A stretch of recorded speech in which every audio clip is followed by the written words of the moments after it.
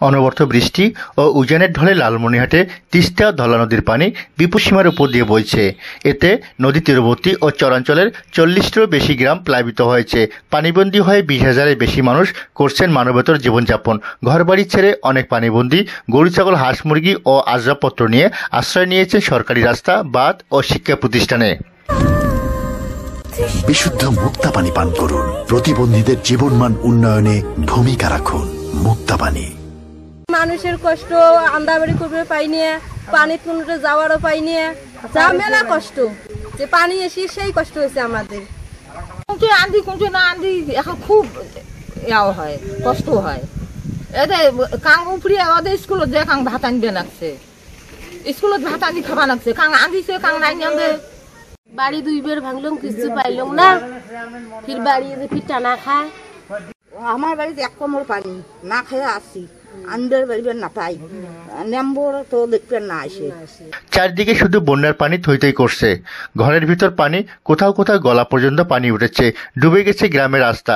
বন্যা দুর্গত মানুষজনকে চলাচল করতে হচ্ছে কলাগাছের ভেলা ও নৌকায়। রান্নার চুলা ডুবে যাওয়ায় রান্নাও করতে পারছেন না। নির্ভর করতে হচ্ছে শুকনো খাবারের উপর। নলকূপগুলো পানির নিচে তলিয়ে যাওয়ায় বিশুদ্ধ পানি চরম সংকটে রয়েছেন।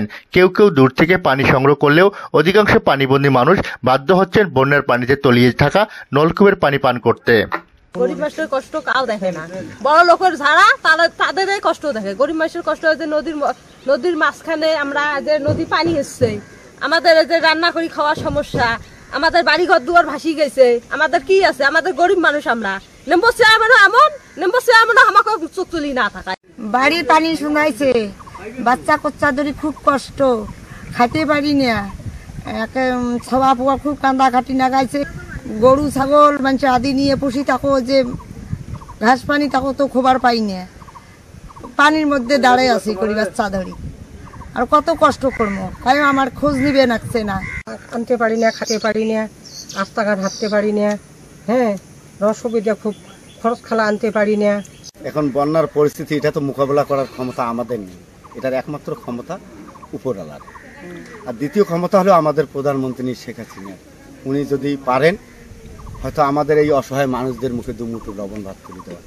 শুকনো খাবার দিবার বন্যার পানিতে তলিয়ে গেছে ফসলের ক্ষেত ও ঘাসের জমি। পানিতে ভিজে নষ্ট হয়েছে খড়। তাই গোখাদ্য জোগান নিয়ে বিপাকে পড়েছেন বন্যা দুর্গত কৃষকরা। বিশেষ করে চরাঞ্চলে লাগানো শতাধিক কলার বাগান ক্ষতির মুখে পড়েছে। ধরে যাচ্ছে কলা গাছ।